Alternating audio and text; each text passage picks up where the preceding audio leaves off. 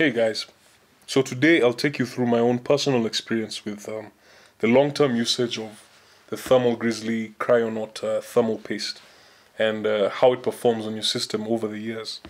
Uh, so if I can just get right into it.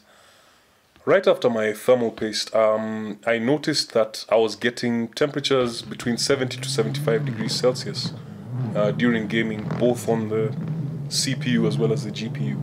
However, recently, I've been noticing that for prolonged sessions of gaming, I'm actually getting a lot worse um, frame rates and uh, thermal throttling just from the system running uh, for a longer period of time. So I actually thought about this and I, I realized that this might actually be, be because of the the increased uh, dust buildup in the system as well as um, this, the thermal paste uh, degrading over time. So I felt it was time to actually try and redo the thermal paste uh, entirely. Uh, so that's exactly what I'll run through briefly in this video and um, you'll see how my performance before and after is. Because you can see here, I'm getting about 86 degrees Celsius uh, while gaming and um, with regards to more productivity based tasks like uh, here we have Cinebench R23 running and uh, you can see that the temperature is slowly going higher and higher and uh, it's now running at about 90 degrees Celsius on CPU load only. Now previously, um, while running at 45 watts, I'd get between 70 to 75 degrees Celsius.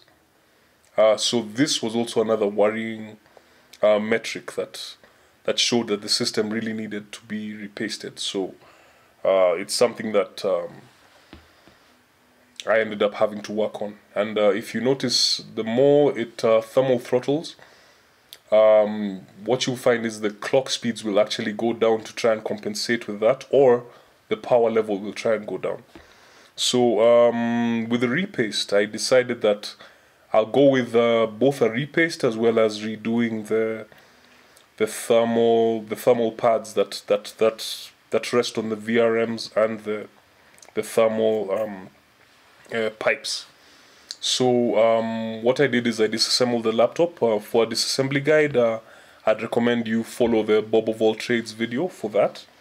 Um, but basically, just had to take apart the laptop, and there was a lot of cleaning and a lot of um, just general um, maintenance that I had to do to to just get the laptop as clean as possible and try and get all the surfaces as clean as possible.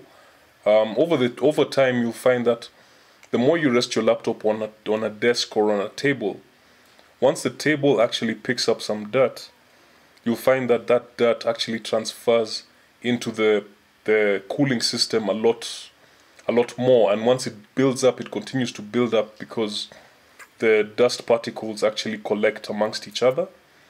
And uh, you actually find that it it contributes towards worse um, thermal performance So here I'm brushing uh, a couple of the fans and uh, just trying to get all the dirt and grime as much away from the system as possible. And then finally you undo all the screws for the uh, heatsink and uh, you pry it off and uh, once you pry it off now you can uh, start the, the process of getting the new thermal paste as well as the new thermal pads onto the system. So for this particular system, I was able to use a one millimeter uh, thermal pad uh, from Amazon that actually worked quite well and they fit perfectly. You just have to do a bit of cutting to make sure that the pieces fit um, exactly onto the the VRMs and any other components that are covered. And uh, so before you do that, you need to make sure that you clean all the surfaces very well. Make sure you have a thermal um, surface cleaner as well as the purifier. And uh, once you have those two, you should be able to clean uh, both the heatsink as well as the CPUs and VRMs very well. And hopefully this gives you a better contact surface. Yeah, so after the repaste, I think you can already see that um, within Cinebench, the temperatures the temperatures have gone down significantly and uh, now we're running at around 70 to 75 degrees Celsius as before uh, and this is at the 45 watt uh, TDP, which means that pro- for prolonged periods, um, you'll actually find that your system will perform even better than factory um, performance. However, just because I've been running the Thermal Grizzly for about two years now, uh, just over two years, uh, the original Thermal Grizzly thermal paste had, had started fading away. And uh, I believe it's, it had started drying out.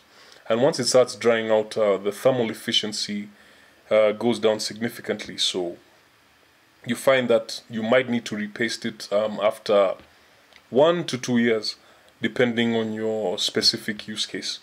Uh, normally, if you run the, the computer a lot hotter, um, the thermal paste will, will dry out a lot faster. So normally for maybe high, more high intensity workloads and systems and um, operations, you'll find you might need to, to run that repaste a lot more sooner.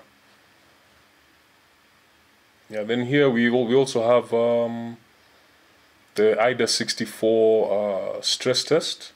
So this stress test is running on the stress the CPU, the FPU, the cache, as well as the system memory. And here you'll find again very good performance. We're keeping in the 75 degrees uh, range at 45 watts TDP. And this is actually very good because you can see the system is not uh, flagging any thermal throttling or any performance issues.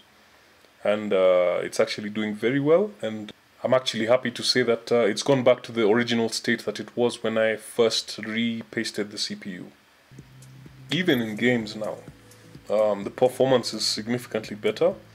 Um, we're actually now keeping within the 68 to 70 degrees Celsius on uh, Dirt Rally 2. Uh, it's not a very intensive game, but uh, I believe it was a, it's it's it's a game that covers high CPU, um, relatively high CPU usage, as well as very high GPU usage because it's more of a GPU bound game. So it actually shows that uh, the system is able to stabilize at around the 70 degree range uh, while running games for extended periods, which is, in my estimation, about 15 or so degrees uh, lower than how it was before with the old uh, um, th- uh, thermal grizzly that had worn out over time. So um, this is actually very good performance, and uh, it's basically taken the system back to to where it was previously, which is uh, something that I think we'd all be able to appreciate, uh, knowing how these powerful systems can really be um, throttled by thermal limitations. Yeah, so that's uh, more or less been my experience with uh, repasting the Thermal Grizzly um, Kryonaut. Uh, just to give you a bit of a recap, I did this after about two years of um, using the original Thermal Grizzly, and uh, it was just um, a decision that I made based on how I noticed my system was running a lot hotter, and uh, I felt like I needed to to take my system back to where it was previously in terms of the thermal performance. So um, after doing this, we can we can clearly see that the temperatures have easily gone down by about 15 to 20 degrees Celsius, which is actually very good. And I'd, I'd expect it to keep at this point for, let's say, the next at least a year, uh, considering the kind of workloads that I use, which is um, both gaming as well as um, 3D rendering and uh, video rendering. Yeah, so uh, that's more or less been the video. Um, I'd I'd, I'd love to hear your feedback about this as well as your experiences. Um, so in case of any questions or comments, please feel free to leave them below. Thanks for watching.